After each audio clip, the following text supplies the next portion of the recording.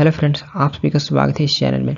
इस वीडियो में Buddhism and Gautam Buddha, बौद्ध धर्म और गौतम बुद्ध से संबंधित 100 plus important MC question cover करेंगे। और इससे पहले मैं इस चैनल पर pre historic Indus valley civilisation Vedic civilisation Jainism इसके अलावा और भी बहुत सारे टॉपिक पर टॉपिक वाइज कवर किया हूँ। तो आप मेरा प्ले ज़रूर चेक करें। तो इस वीडियो में हम बुद्धिज्म पर फोकस रखेंगे। तो चलिए शुरू करते हैं without time wasting first question is the word Buddha mean Buddha शब्द का क्या अर्थ है? तो यहाँ पे आपको बुद्ध शब्द का अर्थ बताना बुद्ध शब्द का क्या अर्थ है? तो option D the right answer है द इनलाइटेंड वन जागृत या प्रबुद्ध व्यक्ति, बुद्ध शब्द का अर्थ है। तो option D the right answer है। नेक्स्ट है who are the founder of Buddhism बौद्ध धर्म के संस्थापक कौन थे? तो option C the right answer है गौतम बुद्ध। गौतम बुद्ध ये बौद्ध धर्म के संस्थापक थे। तो option C the right answer है गौतम बुद्ध। नेक्स्ट है Gautam Buddha was born in the year Gautam Buddha का जन्म किस वर्ष हुआ था? तो यहाँ पे आपको बताना गौतम बुद्ध जी का जन्म किस वर्ष हुआ था?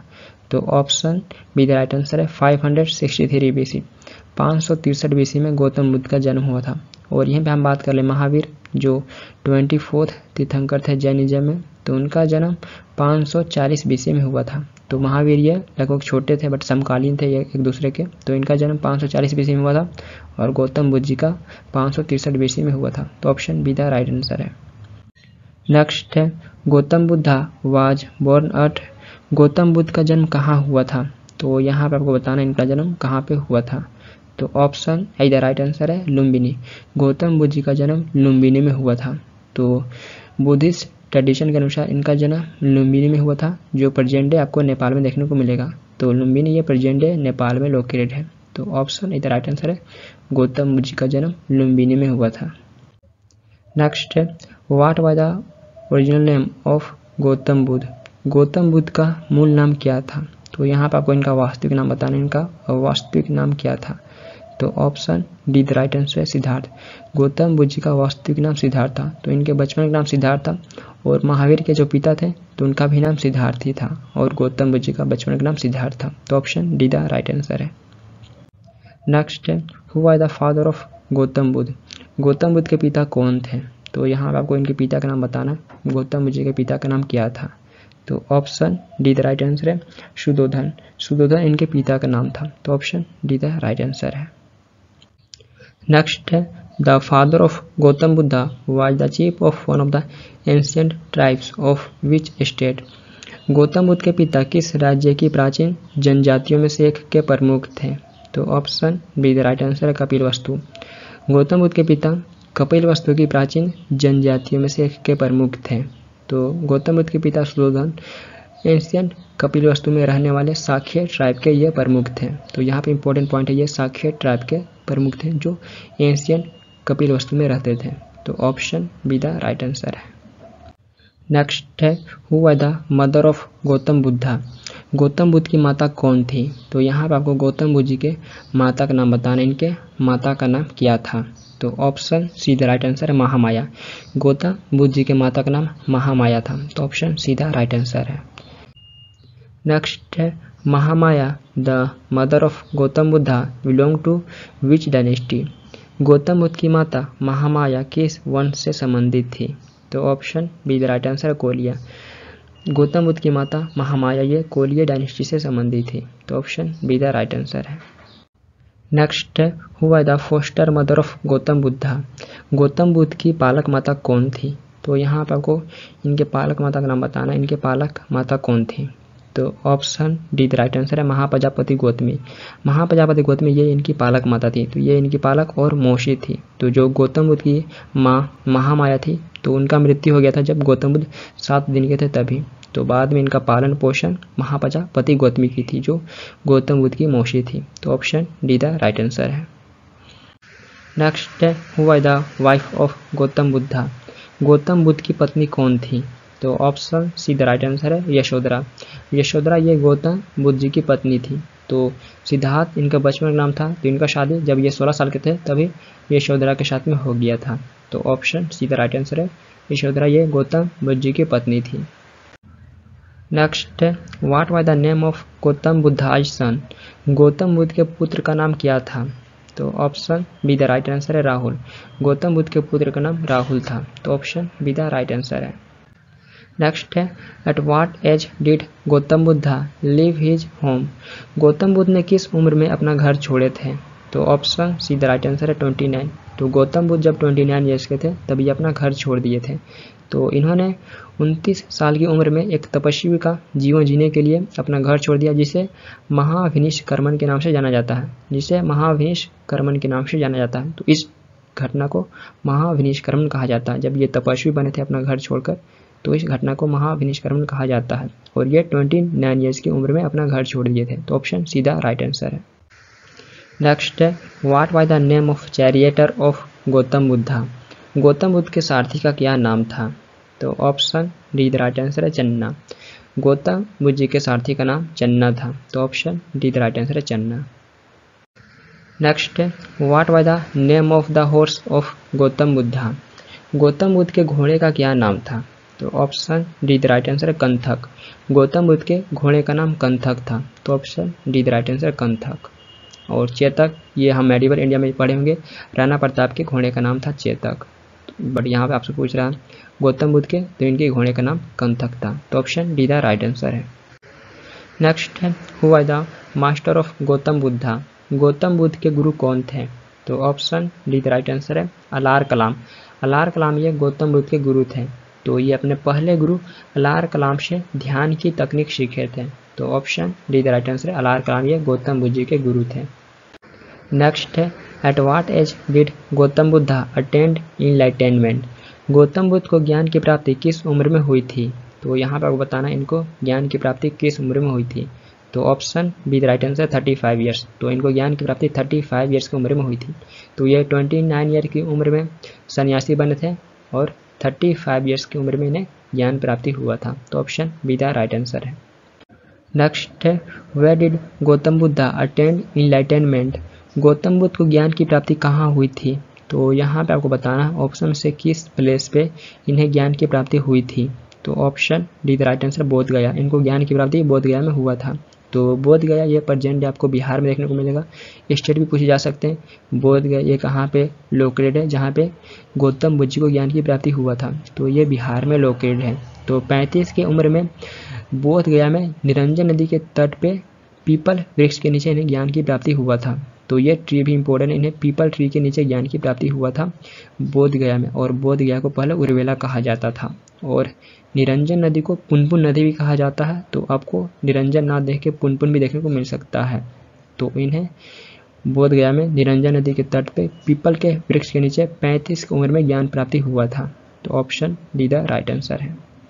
नेक्स्ट है under which tree lord Buddha attain enlightenment भगवान बुद्ध को किस वृक्ष के नीचे ज्ञान प्राप्त हुआ था? तो option B the right answer, peepal tree. इन्हें पीपल ट्री के नीचे ज्ञान प्राप्त हुआ था बोध गया में। तो इसलिए उस ट्री को बोधि ट्री भी कहा जाता है। तो इन्हें जहाँ जिस पेड़ के नीचे ज्ञान प्राप्ति हुआ था तो इसलिए उस वृक्ष को बोधि ट्री भी कहा जाता है, बोधि वृक्ष भी कहा जाता है। तो option, B the right answer है। नेक्स्ट है, Gautam Buddha attain enlightenment on the bank of which river Gautam Buddha को किस नदी के तट पर ज्ञान की प्राप्ति हुआ था? तो ऑप्शन, इधर राइट आंसर है, निरंजन। गौतम बुद्ध जी को निरंजन नदी के तट पर ज्ञान की प्राप्ति हुआ था। तो ऑप्शन इधर राइट आंसर है, निरंजन। और निरंजन नदी को पुनपुन नदी भी कहा जाता है। नेक्स्ट है where did Gautam Buddha gave his first sermon known as Dharma Chakra Parivartan? Gautam Buddha ने अपना पहला उपदेश कहाँ दिया, जिसे धर्म चक्र परिवर्तन के नाम से जाना जाता है? तो गौतम बुद्ध जी पहला उपदेश दिए, उस घटना को धर्म चक्र परिवर्तन के नाम से जाना जाता है। तो यहाँ पर बताना ये पहला उपदेश कहाँ पे दिए थे? तो option B the right answer, Sarnath. Gautam Buddha ji अपना पहला उपदेश सारनाथ में दिए थे। तो सारनाथ ये आपको यूपी में वाराणसी के नज़दीक देखने को मिलेगा। यूपी में वाराणसी के नज़दीक सारनाथ स्थित है। तो ये अपना पहला उपदेश सारनाथ में दिए थे।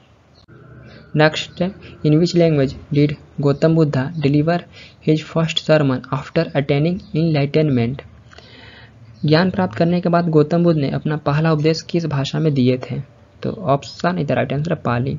गौतम बुद्ध ज्ञान प्राप्त करने के बाद पहला उपदेश पाली लैंग्वेज में दिए थे। तो ऑप्शन इधर right answer Pali.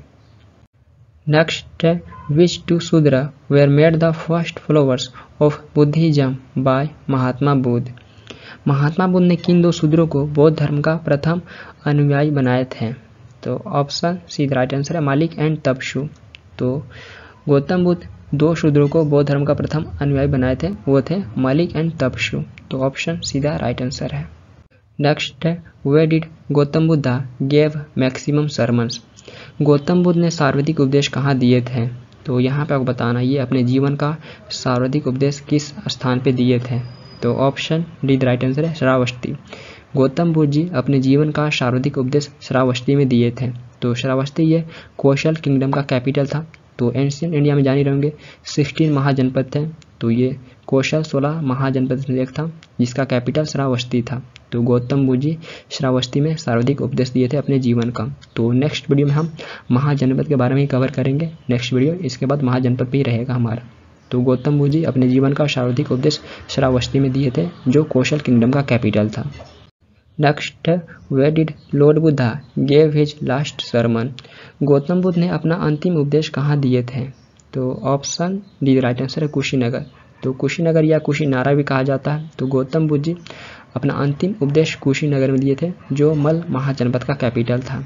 तो इनका अंतिम उपदेश कुशीनगर में था। यह पहला उपदेश सारनाथ में दिए, सबसे ज़्यादा उपदेश श्रावस्ती में दिए और अंतिम उपदेश कुशीनगर था इनका, जो मल महाजनपद का कैपिटल था। Next on whose request did Mahatma Buddha allow women to join the Sangha? Mahatma Buddha ने किसके अनुरोध पर महिलाओं को संघ में शामिल होने की अनुमति दिए थे? तो ऑप्शन इधर राइट आंसर आनंद। महात्मा बुद्ध जी आनंद के रिक्वेस्ट पे महिलाओं को संघ में शामिल होने की अनुमति दिए थे। और आनंद ये कौन थे? तो ये महात्मा बुद्ध के प्रमुख शिष्यों में से एक थे। तो इनके रिक्वेस्ट पे गौतम बुद्ध महिलाओं को संघ में शामिल होने की अनुमति दिए थे। तो ऑप्शन इधर right answer Ananda. Next, the entry of women as a Bhikshuni into the Buddhist Sangh was allowed by Gautam Buddha at बौद्ध संघ में एक भिक्षुनी के रूप में महिलाओं के प्रवेश के लिए अनुमति गौतम बुद्ध कहाँ दिए थे? तो ऑप्शन इधर राइट आंसर वैशाली। गौतम बुद्ध जी बौद्ध संघ में एक भिक्षुनी के रूप में महिलाओं के प्रवेश के लिए अनुमति वैशाली में दिए थे। और वैशाली ये उस टाइम वजी महाजनपद का कैपिटल था। तो ऑप्शन इधर right answer Vaishali. Next, who among the following was the first woman to enter the Buddhist संघ? निम्नलिखित में से कौन बौद्ध संघ में प्रवेश करने वाली पहली महिला थी? तो यहाँ पर आपको उस पहली महिला का नाम बताना है। पहली महिला कौन थी? जो बौद्ध संघ में प्रवेश की थी। तो option D, the right answer है, महाप्रजापति गौतमी। महाप्रजापति गौतमी ये पहली महिला थी जो बौद्ध संघ में प्रवेश की थी। तो ये गौतम बुद्ध जी की मौसी थी और बौद्ध संघ में प्रवेश करने वाली पहली महिला थी। तो वैशाली में अपने शिष्य आनंद के रिक्वेस्ट पे बुद्ध जी के द्वारा महिलाओं को एज ए व्यक्षिणी के रूप में संघ में प्रवेश करने के लिए परमिशन दिया गया था और पहली महिला संघ में प्रवेश करने वाली महाप्रजापति गौतमी बनी थी। तो option D the right answer है। नेक्स्ट है who among the following was a contemporary of Gautam Buddha निम्नलिखित में से कौन गौतम बुद्ध के समकालीन थे? तो यहाँ पर वो बताना ऑप्शन में से कौन गौतम बुद्ध के समकालीन थे?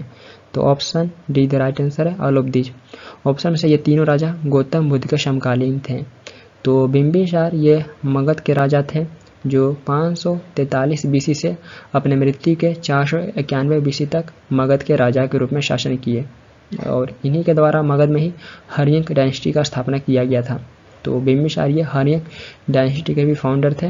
देन इसके बाद अजात शत्रु तो अजात शत्रु ये बिम्बिसार के पुत्र थे, जो हरियन डायनेस्टी के अगला रूलर बने थे मगध में। देन इसके बाद प्रसेंजित तो प्रसेंजित ये कौशल के मोस्ट फ़ेमस रूलर थे, जो अपने सिस्टर के शादी बिम्बिसार से किए थे। तो कौशल के राजा प्रसेंजित ये, अपनी सिस्टर की शादी बिम्बिसार से किए थे।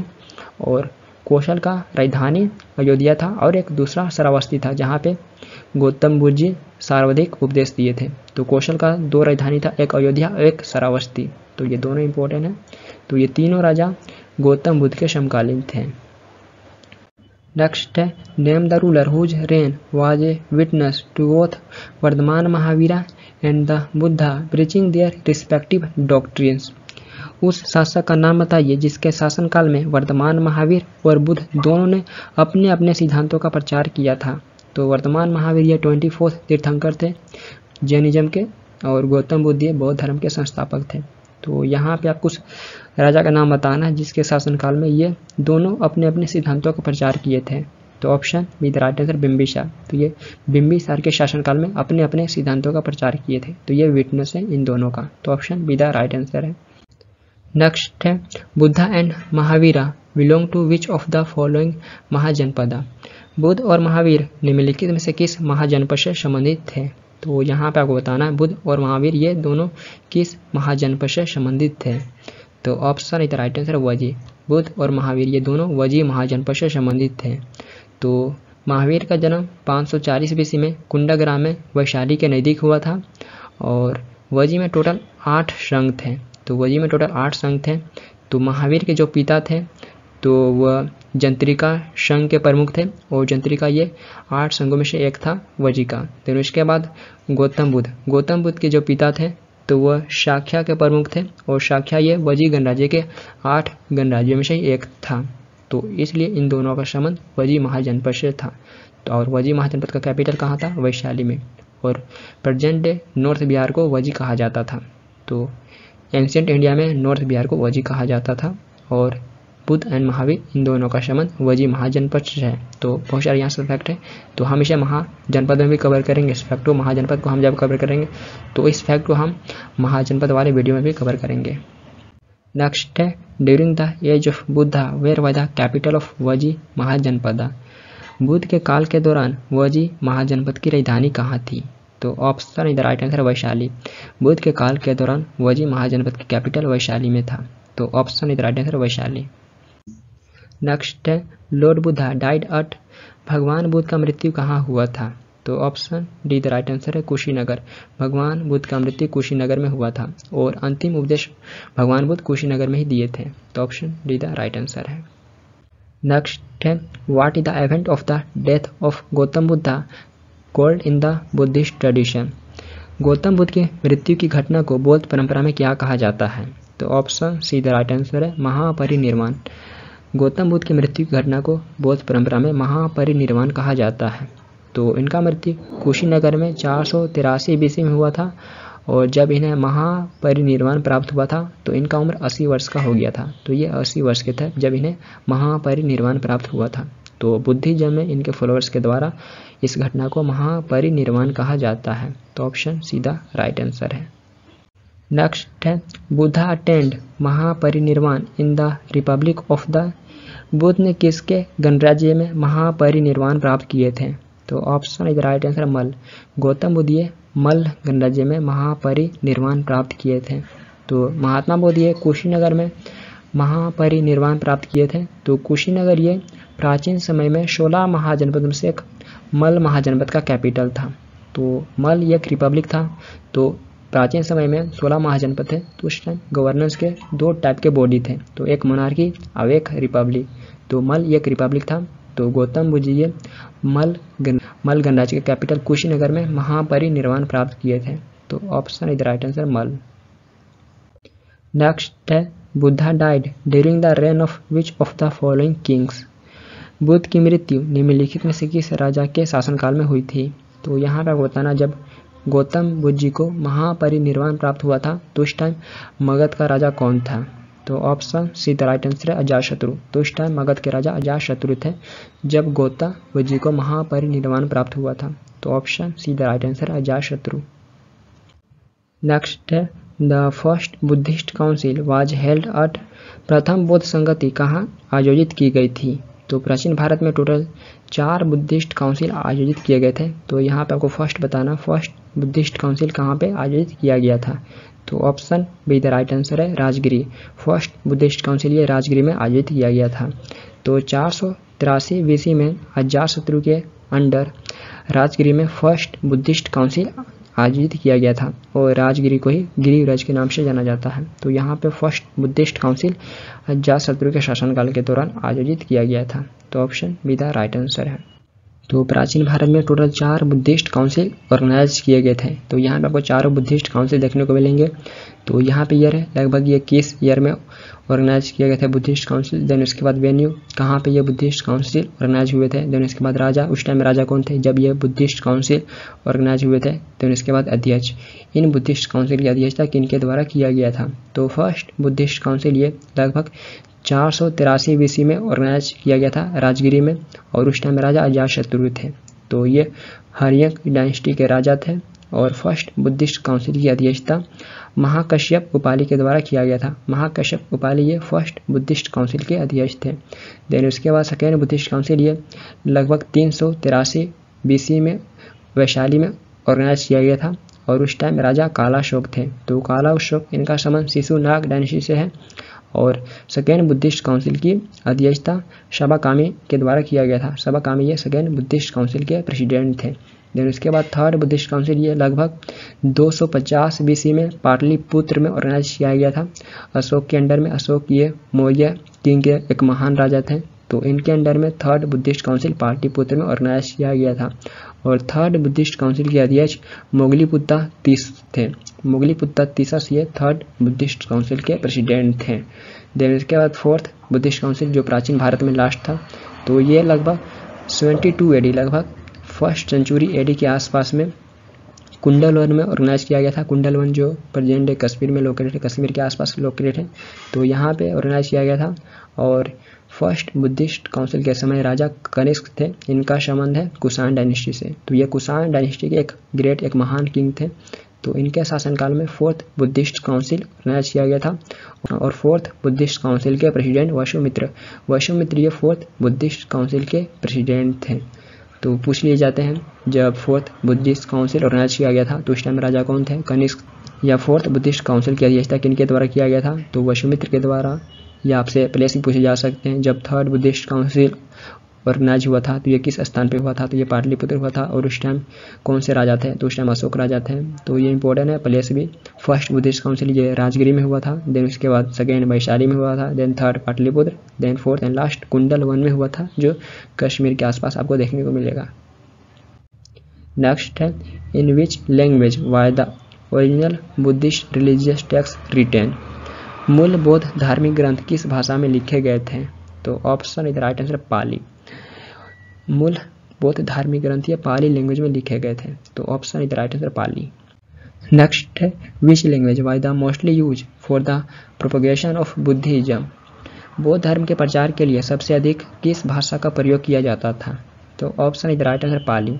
बौद्ध धर्म के प्रचार के लिए सबसे अधिक पाली लैंग्वेज का प्रयोग किया जाता था। तो ऑप्शन इधर राइट आंसर पाली।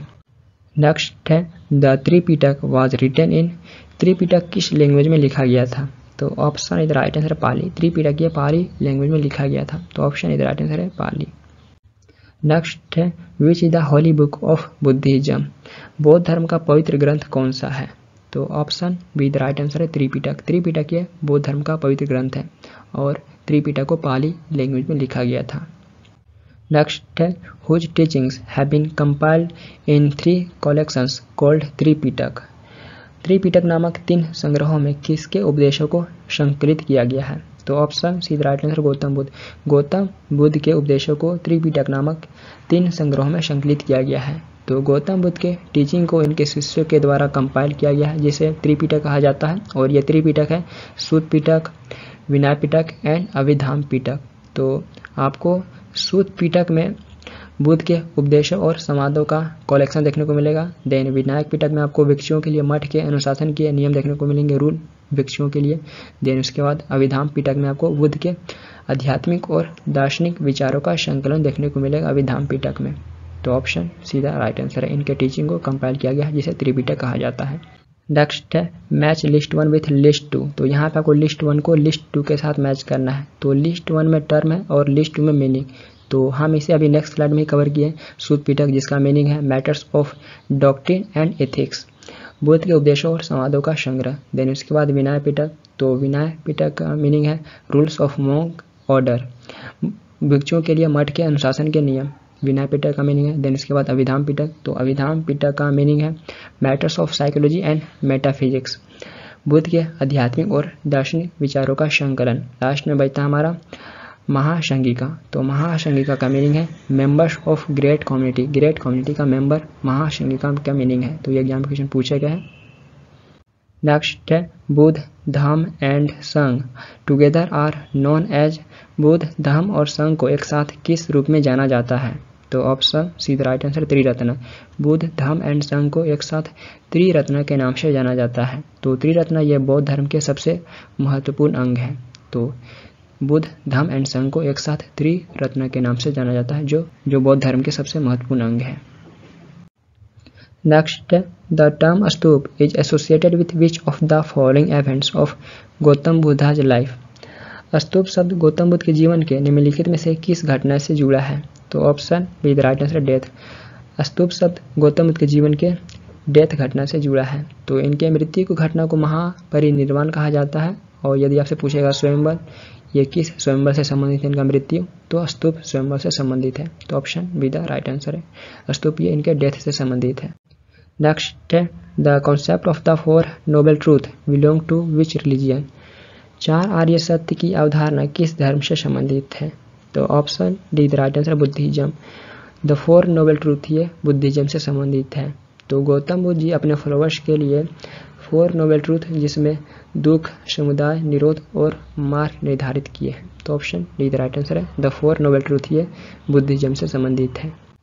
नेक्स्ट है which of the following part of Buddha's life is symbolize by a horse Buddha के जीवन काल के निम्नलिखित में से किस भाग को एक अश्व के द्वारा प्रतीकत्व किया गया है? तो option C the right answer है। रेनन्सिएशन बुद्ध के जीवन के त्याग को एक अश्व के द्वारा प्रतीकत्व किया गया है। तो बुद्ध के जीवन की महान घटनाओं को एक प्रतीक के द्वारा दर्शाया गया है। तो यह प्रतीक और घटना इस प्रकार है। तो फ़र्स्ट बर्थ, जन्म।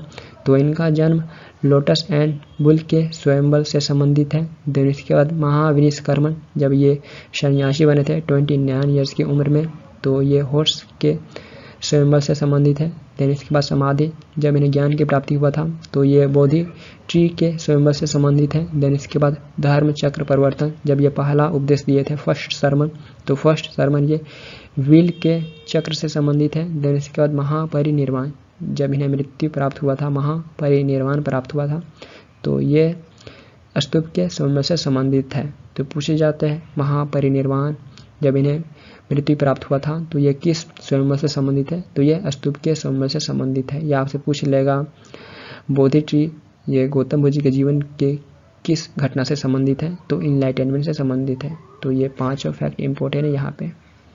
नेक्स्ट है name the disciple of Buddha who wrote the Sutta Pitaka Buddha के उस शिष्य का नाम बताइए जिसने सूत पीटक लिखा था। तो ऑप्शन इधर राइट आंसर आनंद। आनंद, ये सूत पीटक लिखे हुए थे। तो ऑप्शन इधर राइट आंसर आनंद। नेक्स्ट है हु रोट विनय पिटक विनय पिटक के लेखक कौन थे? तो ऑप्शन इधर राइट आंसर उपाली। उपाली ये विनय पिटक के लेखक थे। तो आनंद और उपाली ये दोनों गौतम बुद्ध के प्रमुख शिष्य थे। तो उपाली के द्वारा विनय पिटक लिखा गया था। तो ऑप्शन इधर राइट आंसर है। नेक्स्ट है who among the following propounded the philosophy of Ashtangik Marg निम्नलिखित में से किसने अष्टांगिक मार्ग के दर्शन को प्रतिपादित किया? तो यहाँ पर आपको बताना ऑप्शन में से किनके द्वारा अष्टांगिक मार्ग के फिलोसफी को प्रतिपादित किया गया था। तो option C right answer Gautam Buddha. Gautam Buddha ji के द्वारा अष्टांगिक मार्ग के फिलोसफी को प्रतिपादित किया गया था। और ये अष्टांगिक मार्ग कौन कौन से हैं? तो first is right view, then second right intention, then third right speech, then उसके बाद right action, right livelihood, right mindfulness, right effort, and last right concentration. तो ये अष्टांगिक मार्ग है जो गौतम बुद्ध के द्वारा प्रतिपादित किया गया था। तो ऑप्शन सीधा राइट आंसर है। नेक्स्ट है which of the following is not included in the eightfold path of Buddhism निम्नलिखित में से कौन बौद्ध धर्म के अष्टांगिक मार्ग में शामिल नहीं है? तो ऑप्शन इधर राइट आंसर है राइट डिज़ायर राइट डिज़ायर ये बौद्ध धर्म के अष्टांगिक मार्ग में शामिल नहीं है। तो ऑप्शन इधर राइट आंसर है right desire next during which period of Indian history did the Kshatriya have distinct identity भारतीय इतिहास के किस काल में क्षत्रियों की एक अलग पहचान थी? तो option D the right answer age of the Buddha तो बुद्धा के समय क्षत्रियों की एक अलग पहचान थी। तो भारतीय इतिहास में बुद्धा के समय में क्षत्रियों की एक अलग पहचान थी। तो option D the right answer age of the Buddha next है where was the third Buddhist council held तृतीय बौद्ध संगति का आयोजन कहाँ हुआ था? तो यहाँ पर आपको बताना थर्ड बुद्धिस्ट काउंसिल ये कहाँ पे आयोजन हुआ था।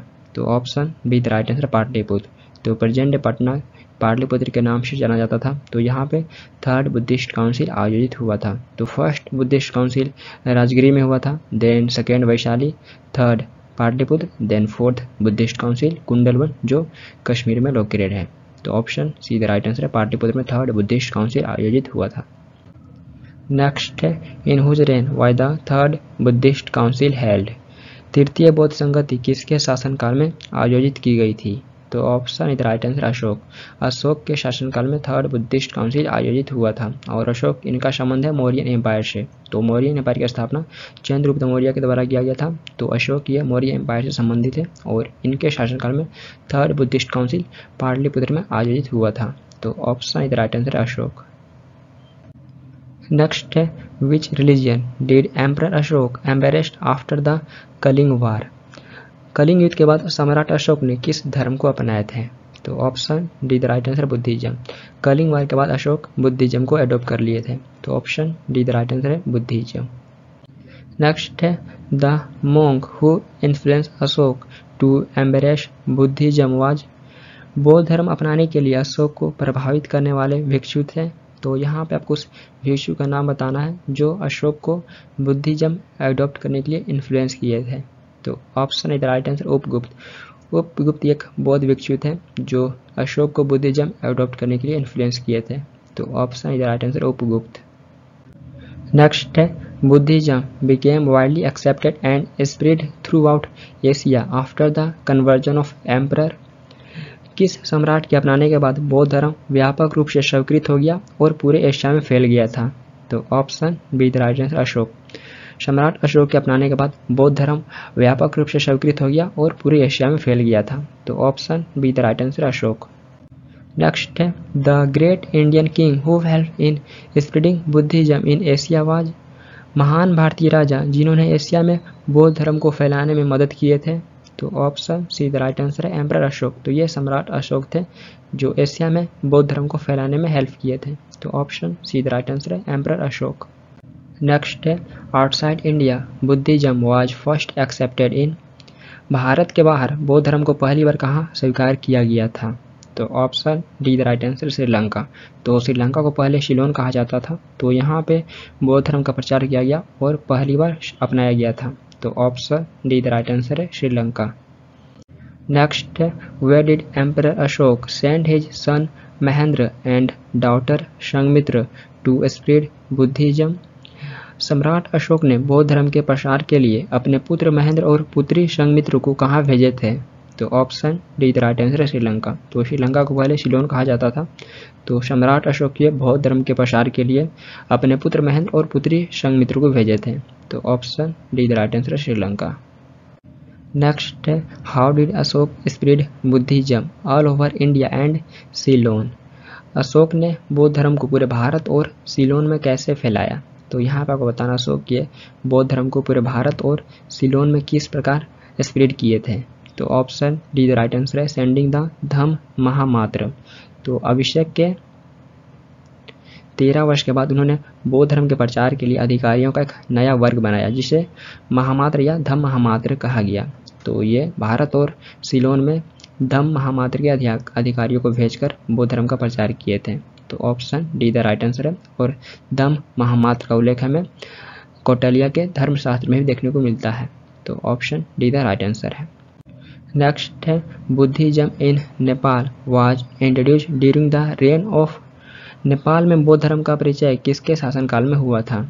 तो ऑप्शन इधर राइट आंसर अशोक अशोक के शासनकाल में नेपाल में बुद्धिज्म को इंट्रोड्यूस किया गया था। तो ऑप्शन इधर राइट आंसर अशोक नेक्स्ट है the Lumbini why the birth place of Buddha is attested by an inscription of Lumbini Buddha का जन्म स्थान था, जिसे किसके एक शिलालेख द्वारा प्रमाणित किया गया है।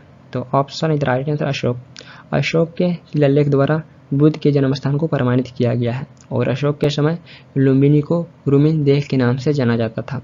अशोक के समय लुम्बिनी को रुमिन देह के नाम से जाना जाता था। तो ऑप्शन इधर राइट आंसर है अशोक के शिलालेख के द्वारा बुद्ध के जन्म स्थान को प्रमाणित किया गया है। Next Buddhist text has been mention in which Ashoka's inscription बौद्ध ग्रंथ का उल्लेख अशोक के किस अभिलेख में किया गया है? तो option C the right answer Bhabru Ashoka के बबरू इंस्क्रिप्शन में हमें बुद्धिस्ट टेक्स्ट का उल्लेख देखने को मिलता है। तो option C the right answer Bhabru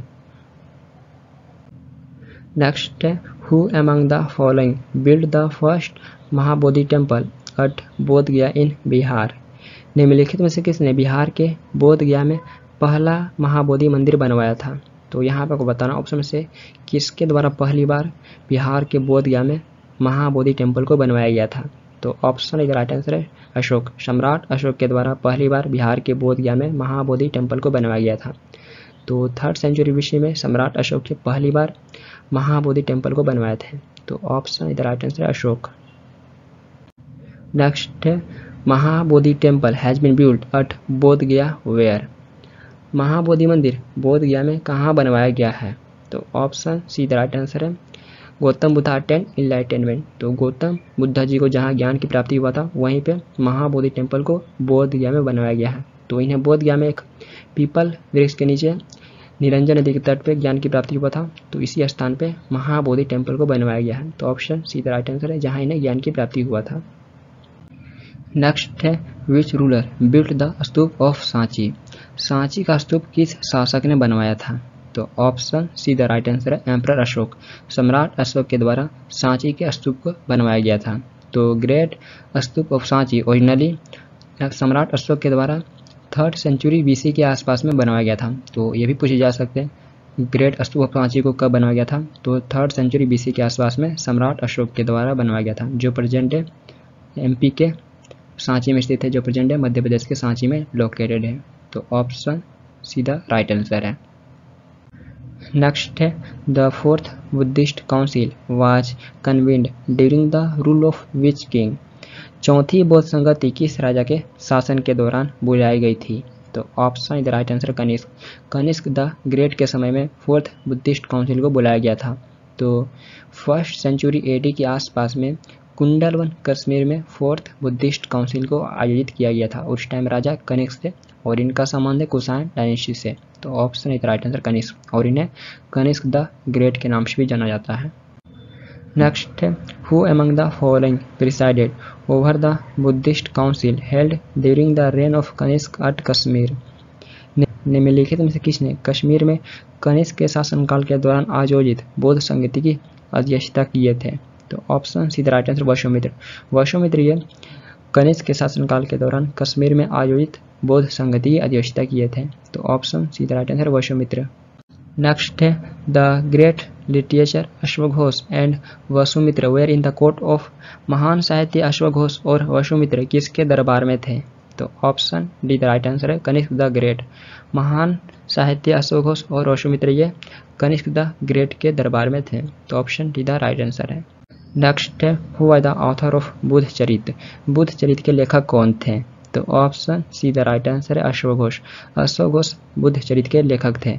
then, इसके अलावा सूत्र, लंकार का भी माना जाता है, यही रचयिता थे। तो बुद्ध चरित ये मोस्ट फ़ेमस है, जो अश्वघोष जी लेखक थे। तो option C the right answer, अश्वघोष।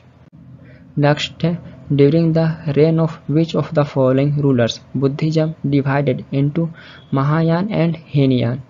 निम्नलिखित में से किस शासक के शासनकाल में बौद्ध धर्म, महायान और हीनयान में विभाजित हो गया था। तो यहाँ पे आपको उस राजा का नाम बताना है, जिनके शासनकाल में बौद्ध धर्म, महायान और हीनयान में विभाजित हो गया था। तो option B the right answer, Kanishka. Kanishka के शासनकाल में बौद्ध धर्म, महायान और हीनयान में विभाजित हो गया था। तो कनिष्क के शासनकाल में आयोजित फोर्थ बुद्धिस्ट काउंसिल में बुद्धिज्म दो ब्रांच में बढ़ गया था। हीनयान और महायान तो हीनयान बुद्ध की वास्तविक शिक्षा का अनुसरण करते हैं या मानते हैं, वहीं महायान मूर्ति पूजा में विश्वास करते हैं। तो कनिष्क के शासनकाल के दौरान आयोजित फोर्थ बुद्धिस्ट काउंसिल में बौद्ध धर्म, महायान और हीनयान में विभाजित हो गया था। तो option B the right answer है। नेक्स्ट है, Gautam Buddha was elevated to the position of god by the time of किसके शासन के समय तक गौतम बुद्ध को भगवान का पोजीशन दिया गया था? तो option B the right answer Kanishka Kanishka के शासनकाल तक गौतम बुद्ध जी को भगवान का पोजीशन मिल गया था, इन्हें भगवान माना जाने लगा था। तो option B the right answer Kanishka next है Gandhara school of art develop during the reign of Gandhara school of art किसके शासनकाल के दौरान विकसित हुआ था? तो option C the right answer Kushan Kushan के शासनकाल के दौरान गंधार स्कूल ऑफ़ आर्ट का डेवलप हुआ था। तो ऑप्शन सीधा राइट आंसर है। तो Gandhara school of art Kanishka के शासनकाल के दौरान फ़र्स्ट सेंचुरी एडी में डेवलप हुआ था। तो यहाँ पे आपको कनिष्क भी देखने को मिल सकता और इनका डायनेस्टी के नाम भी देखने को मिल सकता। है ये कुषाण एम्पायर से संबंधित है। तो कुषाण एम्पायर के समय में फ़र्स्ट सेंचुरी एडी के आसपास में गंधार स्कूल ऑफ़ आर्ट का डेवलप हुआ था। तो ऑप्शन सीधा राइट आंसर है। नेक्स्ट है which school of Indian art is also known as the Greco Roman Buddhist art school भारतीय कला का वो कौन सा स्कूल है, जो Greco Roman Buddhist art school के नाम से भी जाना जाता है? तो option C the right answer Gandhara. Gandhara को Greco Roman Buddhist art school के नाम से भी जाना जाता है। तो ऑप्शन सीधा राइट आंसर गंधार। और गंधार का डेवलप कुषाण के समय में हुआ था, फ़र्स्ट सेंचुरी एडी के आसपास में। नेक्स्ट है yavanika was introduce in Indian theatre by yavanika को भारतीय रंगमंच में किसके द्वारा पेश किया गया था? तो option B the right answer Greeks. Yavanika को भारतीय रंगमंच में यूनानियों के द्वारा पेश किया गया था। तो option B the right answer है Greeks next which Buddhist monk converted Milinda Indo Greek ruler to Buddhism किस बौद्ध भिक्षु ने मिलिंडा इंडो ग्रीक शासक को बौद्ध धर्म में कन्वर्ट किए थे? तो ऑप्शन इधर राइट आंसर नागसेन तो नागसेन एक बुद्धिस्ट मोंग थे, जो इंडो ग्रीक रूलर मिलिंडा को बुद्धिज्म में कन्वर्ट किए थे। तो मिलिंडा एक फ़ेमस इंडो ग्रीक शासक थे, जिन्हें मैनेडर प्रथम के नाम से जाना जाता है और भारत में पहली बार सोने का सिक्का इंडो ग्रीक के द्वारा शुरू किया गया था। तो ये भी माना जाता है कि भारत में पहली बार सोने का सिक्का इंडो ग्रीक के द्वारा ही शुरू किया गया था। और मिलिंडा ये फ़ेमस एक इंडो ग्रीक रूलर थे, जो बाद में नागसेन के द्वारा बुद्धिज्म में कन्वर्ट हो गए थे। तो ऑप्शन इधर राइट आंसर है। नेक्स्ट है which book contains conversation between Indo-Greek ruler Menander with the Buddhist monk Nagsen. बौद्ध भिक्षु नागसेन के साथ इंडो ग्रीक रूलर मैनेडर के बीच बातचीत किस पुस्तक में है? तो ऑप्शन सीधा राइट आंसर है, मिलिंद पनो बौद्ध भिक्षु नागसेन के साथ इंडो ग्रीक रूलर मैनेडर के बीच बातचीत मिलिंद पनो पुस्तक में कंटेन है तो ऑप्शन सीधा राइट आंसर है। नेक्स्ट है which book was written by Nagarjuna Nagarjuna ने किस पुस्तक की रचना किए थे? तो नागार्जुन इनका एंशियन इंडिया में संबंध कनिष्क है, ये कनिष्क के समकालीन है और ये कनिष्क के दरबारी स्कॉलर भी थे। तो इनके द्वारा बताना ऑप्शन में से कौन सी पुस्तक की रचना किया गया है? तो option D the right answer है, माध्यमिक सूत्र। माध्यमिक सूत्र नागार्जुन के द्वारा रचा गया है। तो option D the right answer है, Madhyamika Sutra. Next who among the following thought the doctrine of shunyata निम्नलिखित में से किसने शून्यता के सिद्धांत की शिक्षा दी? तो option B, the right answer, Nagarjuna. Nagarjuna के द्वारा शून्यता के सिद्धांत की शिक्षा दिया गया था। और ये इन्हीं के द्वारा लिखा माध्यमिक सूत्र में आपको देखने को मिलेगा। माध्यमिक सूत्र में मेंशन है शून्यता का सिद्धांत। तो option B, the right answer है। नागार्जुन के द्वारा शून्यता या शून्यवाद के सिद्धांत को दिया गया था। नेक्स्ट है which one of the following why the last Buddhist text produce in India निम्नलिखित में से कौन सा भारत में निर्मित अंतिम बौद्ध ग्रंथ था? तो option D the right answer है, वाम अस्तपकाशिनी। वाम अस्तपकाशिनी ये भारत निर्मित अंतिम बुद्धिस्ट टेक्स्ट था। तो option D the right answer है। Next stories of Buddha's birth and his previous lifes are content in Buddha के जन्म और उनके पिछले जीवन की कहानियाँ किसमें कंटेंट हैं? तो option C the right answer Jataka tales Jataka कथाएँ में बुद्ध के जन्म और उनके पिछले जीवन की कहानियाँ शामिल हैं। तो वर्ल्ड में oldest written stories Jataka tales को माना जाता है, जिसमें लगभग 600 कहानियाँ संग्रह, जिसमें लगभग 600 कहानियाँ कलेक्टेड हैं। और यह इंसिडेंट क्रिश्चियन एरा से लगभग 300 साल पहले का है। तो जातक टेल्स को वर्ल्ड में ओल्डेस्ट रिटर्न स्टोरेज माना जाता है, जिसमें लगभग 600 कहानियाँ संग्रह हैं। तो ऑप्शन सीधा राइट आंसर है। नेक्स्ट है pillar halls where Buddhist monks worshipped were known as स्तंभ वाले हॉल जहाँ बौद्ध भिक्षु पूजा करते थे, उन्हें किस रूप में जाना जाता था? तो option D the right answer है चैत्यज तो स्तंभ वाले हॉल जहाँ बौद्ध भिक्षु पूजा करते थे, उसे चैत्य रूप में जाना जाता, जबकि बौद्ध भिक्षु जहाँ निवास करते हैं तो उसे विहार के रूप में जाना जाता है। तो चैत्य एक पूजा स्थल है और बिहार एक निवास स्थल है बौद्ध भिक्षुओं का। तो ये इंपॉर्टेंट पॉइंट है। Option D the right answer है चैत्य एक पूजा स्थान है बौद्ध भिक्षुओं का। Next, in the context of Indian history, who among the following is the future Buddha who was not yet come to save the world? भारतीय इतिहास के संदर्भ में निम्नलिखित में से कौन भविष्य के बुद्ध हैं जो अभी तक दुनिया को बचाने के लिए नहीं आए हैं?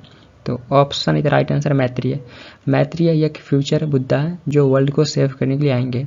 तो इस पृथ्वी पर जब यदि पाप बढ़ जाएगा तो उस समय ये आत्मज्ञान की शिक्षा देने के लिए पैदा होंगे। तो ऑप्शन इधर राइट आंसर मैत्रीय एक फ्यूचर बुद्धा है। Next the Buddhist monk who spread Buddhism in Tibet watch Tibet में बौद्ध धर्म का प्रसार करने वाले बौद्ध विकसित हैं। तो option D the right answer है, पद्मा संभवा पद्मा संभवा ये तिब्बत में बौद्ध धर्म प्रसार करने वाले बौद्ध विकसित हैं। तो option D the right answer है, पद्मा संभवा नेक्स्ट है the Ajanta caves were built during the period of Ajanta caves किस एम्पायर के पीरियड के दौरान बनाया गया था? तो यहाँ पे आपको उस एम्पायर का नाम बताना है, जिस एम्पायर के पीरियड में अजंता कैप्स को बनाया गया था। तो ऑप्शन इधर राइट आंसर गुप्ताज गुप्ता के शासनकाल में अजंता कैप्स को बनाया गया था। और गुप्ता को ही भारत में गोल्डन एज ऑफ़ इंडिया के नाम से जाना जाता है। गोल्डन एज ऑफ़ इंडिया के नाम से गुप्ता पीरियड को जाना जाता है। और गुप्ता पीरियड का टाइम पीरियड फोर्थ से सिक्स सेंचुरी एडी के बीच में आसपास है। तो इससे पहले मैं गुप्ता भी कवर कर चुका हूँ। गुप्ता एम्पायर पे तो आप उस लेक्चर को भी देख सकते हैं। तो अजंता कैप्स गुप्ताओं के द्वारा बनाया गया था। गुप्ता के राजाओं के द्वारा बनाया गया था। तो ऑप्शन इधर राइट आंसर है। नेक्स्ट है paintings and sculpture of the Ajanta caves in Maharashtra are related to Maharashtra में अजंता की गुफाओं की चित्रकला और मूर्तिकला का संबंध किससे है? तो option C the right answer Buddhism. Maharashtra में अजंता की गुफाओं की चित्रकला और मूर्तिकला का संबंध बुद्धिज्म से है तो option C the right answer है।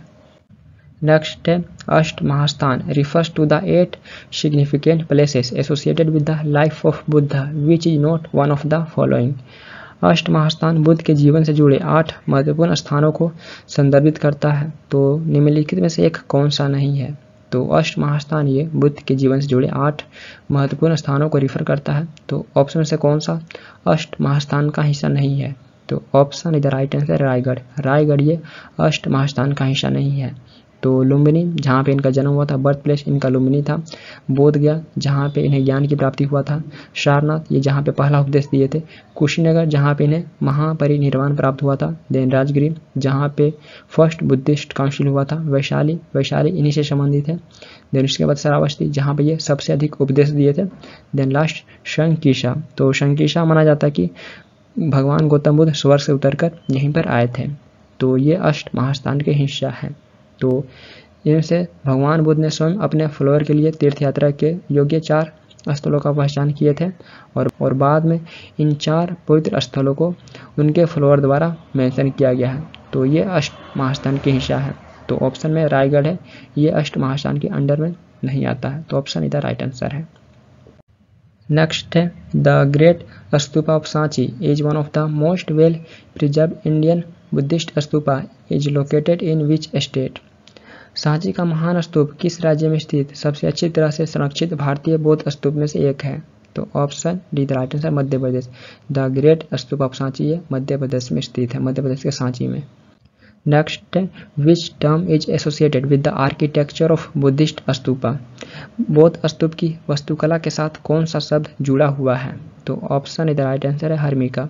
हर्मिका ये बौद्ध स्तूप की वस्तुकला के साथ जुड़ा हुआ है। तो ऑप्शन इधर राइट आंसर है हर्मिका।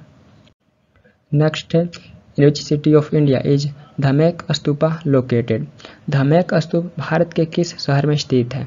तो option C the right answer Varanasi. तो ईपी के वाराणसी में धमेक स्तूपा आपको देखने को मिलेगा। तो option C the right answer Varanasi. Next है Chaukhandi stupa is a Buddhist monument located in which Indian state Chaukhandi स्तूप एक बौद्ध स्मारक है जो भारत के किस राज्य में स्थित है? तो option C the right answer Uttar Pradesh. Chaukhandi स्तूप एक बुद्धिस्ट मोन्यूमेंट है, जो भारतीय स्टेट उत्तर प्रदेश में लोकेटेड है। तो option C the right answer है। नेक्स्ट है in which year Sanchi was discovered after being abandon nearly 600 years लगभग 600 वर्षों तक प्रत्यक्त रहने के बाद सांची की खोज किस वर्ष हुई थी?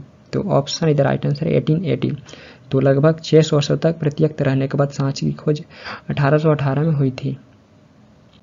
नेक्स्ट है who is also known as light of Asia किन्हें लाइट ऑफ़ एशिया के नाम से भी जाना जाता है? तो option B the right answer है, गौतम बुद्धा। गौतम बुद्ध जी को लाइट ऑफ़ एशिया के नाम से भी जाना जाता है। तो एडविन एर्नोल्ड ने एक लाइट ऑफ़ एशिया नाम से कविता लिखा था, जिसमें सिद्धार्थ के करेक्टर के बारे में डिस्क्राइब किया गया, जो बाद में बुद्ध बन गए थे। तो इसलिए इन्हें लाइट ऑफ़ एशिया के नाम से भी जाना जाता है। तो एडविन एर्नोल्ड के द्वारा लाइट ऑफ़ एशिया नामक एक कविता लिखा गया था, जिसमें सिद्धार्थ के कैरेक्टर के बारे में डिस्क्राइब किया गया है, जो बाद में बुद्ध बन गए थे। तो option B the right answer है। गौतम बुद्ध जी को लाइट ऑफ़ एशिया के नाम से भी जाना जाता है। नेक्स्ट है, Gautam Buddha belong to which clan Gautam Buddha किस वंश के थे? तो option B the right answer Shakya. Gautam Buddha Shakya वंश के थे तो इनके पिता शाक्य वंश के हेड थे तो इनका संबंध शाक्य वंश है। तो option B the right answer है। Next where is world's tallest monolithic statue of Gautam Buddha been installed Gautam Buddha की विश्व की सबसे ऊँची अखंड मूर्ति कहाँ स्थापित की गई है? तो option D the right answer Hyderabad. Gautam Buddha की विश्व की सबसे ऊँची अखंड मूर्ति हैदराबाद में स्थापित की गई है। तो option D the right answer Hyderabad. Next है match list one with list two तो यहाँ पे लिस्ट वन को लिस्ट टू के साथ मैच करना है। लिस्ट वन में इवेंट्स है। भगवान बुद्ध से संबंधित घटना है लिस्ट वन में और लिस्ट टू में प्लेसेस ये घटनाएँ किस प्लेस से संबंधित हैं? तो बर्थ ऑफ़ बुद्धा बुद्ध का जन्म कहाँ पे हुआ था? लुम्बिनी में। लुम्बिनी जो प्रेजेंट नेपाल में स्थित है।